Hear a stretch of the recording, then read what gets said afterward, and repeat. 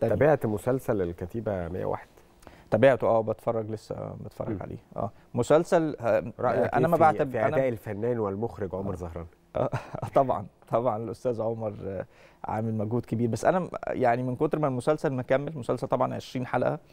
آه، مش قادر أعتبره قوي مسلسل نص أول يعني هو لسه مستمر معانا يعني الفنان يوم 20. والمخرج وأستاذنا عمر زهران يعني موجود معانا على التليفون قايم فنروح آه،. سريعا ونقول له يعني منورنا وفي الحقيقة مكسر الدنيا وعامل دور أكتر من رائع يا أستاذ عمر.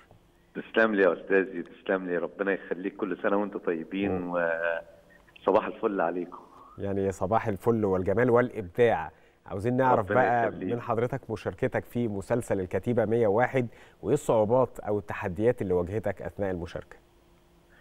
هو الحقيقة يعني مع احترامي لسؤال حضرتك هو ما كانش صعوبات هو كان شيء ممتع جدا جدا. مم. فكرة إنك آه، تجسد آه، شخصية عمل عسكري آه، خاص ببطولات الجيش المصري. ما فيش شك إن ده كان شرف كبير جدا جدا. وتهون معاه أي نوع من الصعوبات بشكل عام.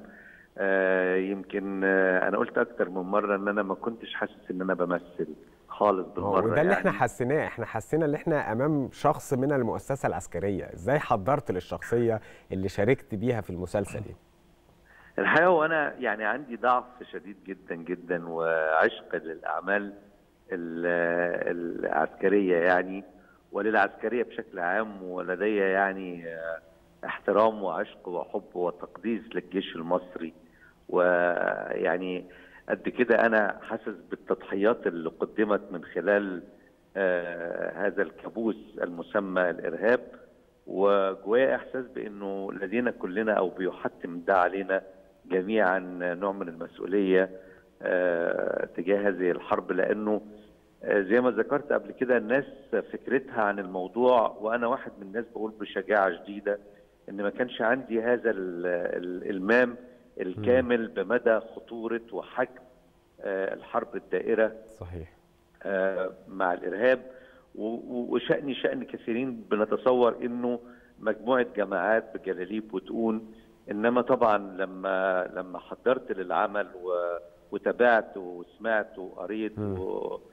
وعرفت إنه في ويمكن يعني كتير من المصريين يا أستاذ عمر كان نفس الإحساس لأن إحنا الحمد لله في القاهرة وأغلب المحافظات عايشين في أمن وأمان واستقرار مش شايفين أو خلاص بقى الحرب اللي كانت دايرة في سينا لأن الحمد لله استطعنا إن إحنا ننهي هذا الإرهاب. لكن سريعا جدا كده عاوز أعرف من حضرتك مشاركتك الوطنية الأولى في عمل وطني آه، عسكري بنتكلم على فيلم الممر والمشاركة الثانية في الكتيبه 101 شايف إزاي آه، أهمية الأعمال آه، الوطنية الدرامية تحديدا اللي بتعرض كمان في رمضان ومن إنتاج الشركة المتحدة.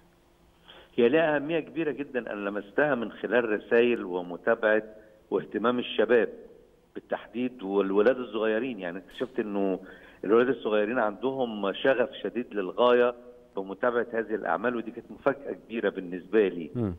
آه، ف- فأنا شايف إنها يعني بتخلق وعي شديد لدى الشباب ولدى الولاد الأطفال اللي إحنا هنسيب لهم البلد بكرة. صحيح. يعني آه يعني مهم جدا جدا كمان. أنا كنت طالبت الحقيقة وما زلت بطالب وبدعو بعمل مونتاج لهذه المقاطع لمقاطع العمل كله يبقى مقاطع فيديو. يتم عرضه في آه، حصص مشاهدة للولاد في المدارس. والولاد لازم تتعلم من دلوقتي. هو إيه الإرهاب ده؟ دي نعم. ودول آه، يعني تجور على على الجيش المصري. يعني في الحقيقة يا أستاذ عمر أنا هكون طماع ومش عاوز بس بقى مكالمة تليفونية أنا عاوز حضرتك تشرفنا وتكون ضيف معانا في صباح الخير يا مصر عشان نتكلم على آه، الدراما الرمضانية ونتكلم على مشاركة حضرتك المتميزة فيها سواء كانت الكتيبة 101 أو أيضا كمان سره آه، الباتع لكن على أي حال لحين تحقيق هذا يعني الحلم بالنسبة لي إن حضرتك تكون معانا ضيف يعني ده الشرف. ده الشرف لينا طبعا وبيتك الأول ماسبيرو طبعا يعني طبعا طبعا وما زال بيتي وما زال أكيد بيتي طبعا، وحضرتك فيه يعني. كل حاجة. بنشكرك المخرج والفنان آه، عمر زهران. شكرا لوجودك معنا في صباح الخير يا مصر.